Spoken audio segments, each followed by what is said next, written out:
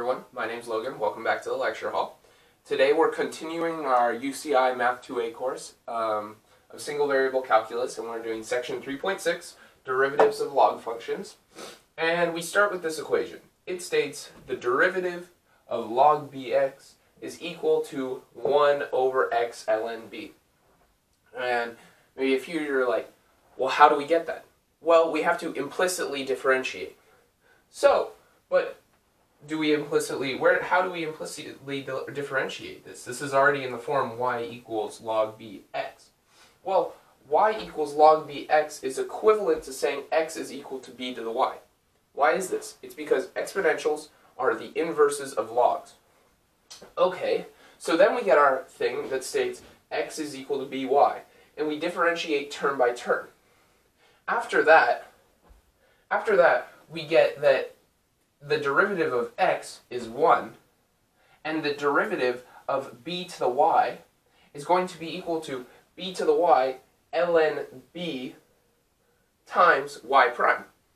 After that, we solve for y prime by dividing out this b to the y ln b, divide out this b to the y ln b on both sides, and what do we get? We get y prime is equal to 1 over b to the y ln b.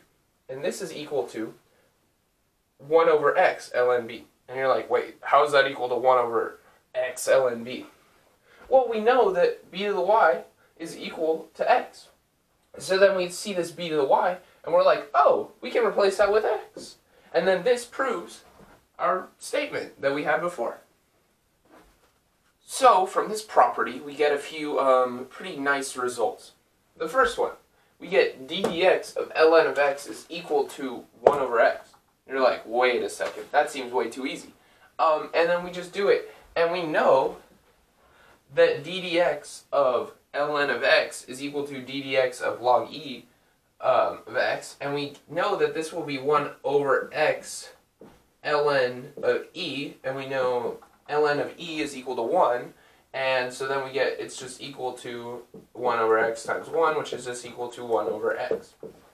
And then now this property, um, we will need in Math 2b. That is our second part of the uh, single variable calculus course. That is basically all integrals. And we need to know that the derivative of ln of the absolute value of x is also equal to 1 over x. So just pocket that away in your head, and then you're gonna have to like pull it out in you know maybe chapter six of um, Math 2B. Um, finally, another great property that comes out of this is our general chain rule. It states d dx of ln of g of x is equal to 1 over g of x times g prime of x. And this is all resting on the fact that g of x can be differentiated, of course. So, from this we get something very, very nice. We get this little thing called logarithmic differentiation. Um, and then we see this function, we see y equals x to the 4 thirds times the square root of x to the 4th plus x cubed all over 1 plus x squared squared. That's ugly, disgusting, terrible, awful, any other word, synonym for bad, bad uh, gross, function. This is a bad function. Because why is it bad? Well, we would have to do multiple product rules and a quotient and possibly multiple quotient rules in order to solve this. But because of our new property, we can do it faster. We can do it in a much easier manner. And what do, what do I mean by this? Well, this is equivalent if we just take ln of both sides. If we take ln of y is equal to ln of x to the 4 thirds times, I'm just going to write it out, x to the 4 plus x cubed over 1 plus x squared squared. Right? These are the same because you're just taking ln of both sides, and you can do that. And then, what we can do is we can split it up using the laws of logs. Every time there's a multiplication, that turns into the addition of two logs. And every time there's a division inside of a log, that turns into a subtraction of two logs. So I'm going to do that all in one step, and we get ln y is equal to ln x to the 4 thirds plus ln uh, x to the fourth plus x cubed. Um, this is to the 1 half power. Why do I say 1 half power? Because the square root. Um, minus ln of 1 plus x squared squared. Okay, perfect, but now we still have to differentiate. And then we see that we have this ln of y. So we are going to have to do some implicit differentiation, which is unfortunate. But it's not that hard. So now we just do it term by term, d dx of all of them. And what do we get? Well, we get, what's the derivative of y? It's going to be 1 over y times y prime is equal to, well, derivative of this, we know from our general chain rule that it's just going to be the function, like 1 over the function, x to the 4 thirds, times the derivative of said function. So what's the derivative of this? It's power rule, so the 4 thirds comes out in front, times x to the 1 third. Now we keep going, we get plus ln uh, blah blah blah this ugly thing 1 over square root x to the 4 plus x cubed. Okay, now what's the derivative of this inside function? Well, we have to deal with the square root first, so there will be power rule. So 1 half over the square root x to the fourth plus x cubed times the derivative of this inside now, which is 4x cubed plus x, uh, 3x squared. Okay, now we keep going, and I've run out of whiteboard space, so I'm just going to continue over. And then so we subtract, and we get, well, what's the derivative of this? This is going to be 1 over 1 plus x squared squared times 2 times 1 plus x squared. How did we get that? Well, that's just power rule of this part of the function. And then we have to multiply by the derivative of the inside, which is just going to be 2x. Okay, so now we have all this, and we can start to simplify. Well, first off, we're just going to rewrite everything up here, and we get y prime over y is equal to 1 over x to the 4 thirds times 4 thirds x to the 1 third. Well, we can subtract this 1 third from the 4 thirds. What do we get? We get 1. So then we get 4 thirds x plus. So now we can combine this one and this one because they're multiplied together, right? And then, so this 2 will come over, so we will have 4x cubed plus 3x squared on top. And then we have a 2, and then we have, well, this is the square root of x to the fourth plus x cubed times the square root. So then we have x to the fourth plus x cubed squared, right? And there's the square root. So then we can just get rid of the square and the square root because they cancel each other out. So then we have 2 times x to the fourth plus 2 times x cubed. And then we still have, we're still going, we have this minus, and then we have 1 over 1 plus x squared squared times 2, 1 plus x squared. And then we see, okay, this is the same as this one. That means we can get rid of that exponent and we can get rid of that. And then we just multiply this with this and we get that that is minus 4x over 1 plus x squared. Okay, and it's like, oh yay, we're done. Well, not yet, because we still have this y prime, and we have this y. But we know what y equals, so we're just going to multiply y on both sides, cross it out here, cross it out here, multiply by y here, and then we get y prime is equal to 4 over 3x plus 4x cubed plus 3x squared over 2x to the 4 plus 2x cubed minus 4x over 1 plus x squared times y. But what is y? We know y is this ugly, disgusting, awful function, and we can just plug y back in.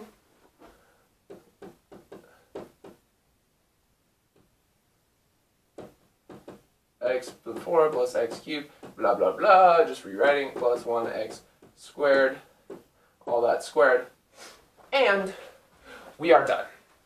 And yes, that took a while, but, you know, doing multiple product, product, hmm.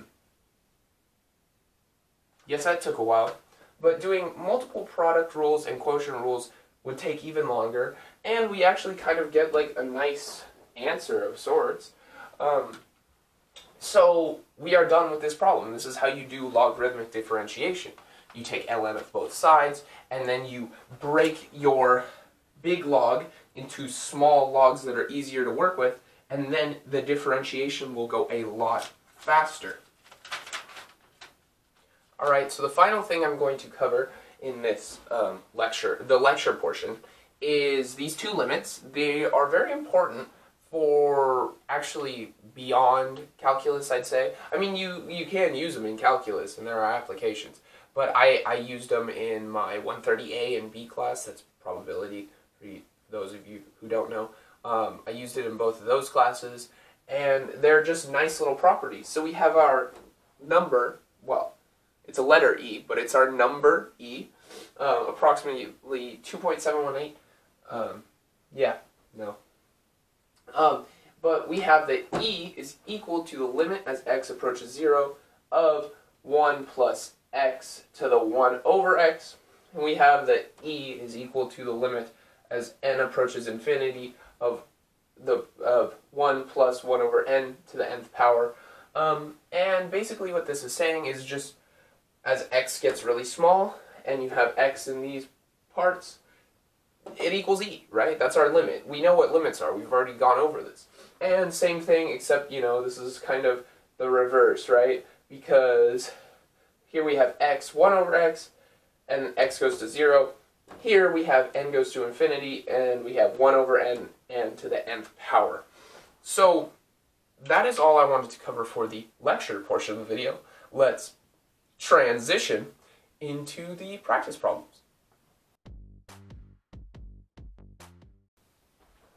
So for our practice problems, we're just going to be doing 2 and 15. I'm not going to do another logarithmic differentiation because that took a very long time and I feel like I did a hard enough one so that it, you'll be able to do the easier ones.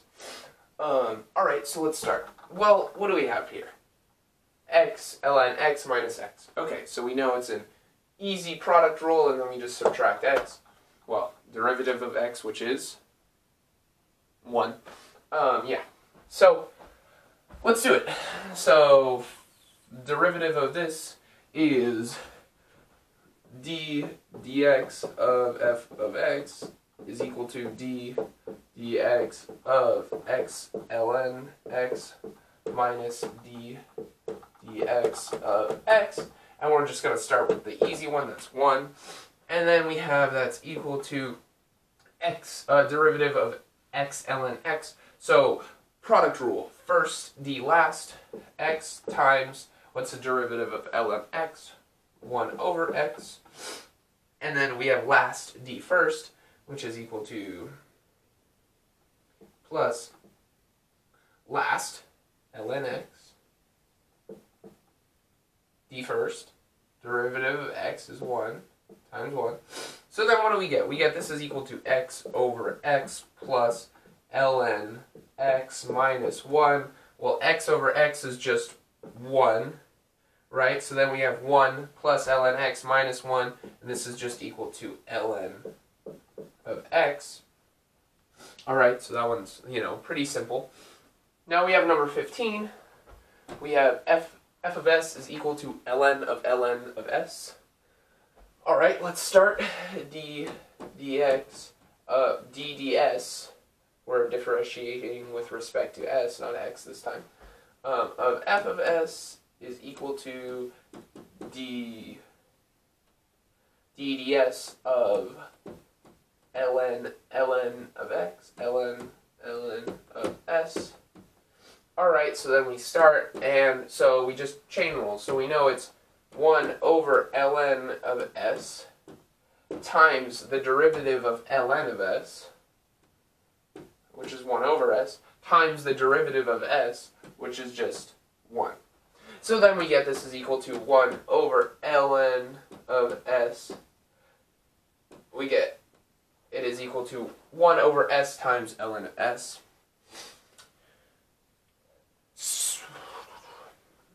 So that is all the problems I wanted to cover today. Um, again, my name was Logan. Thanks for watching. Have a great day. Subscribe.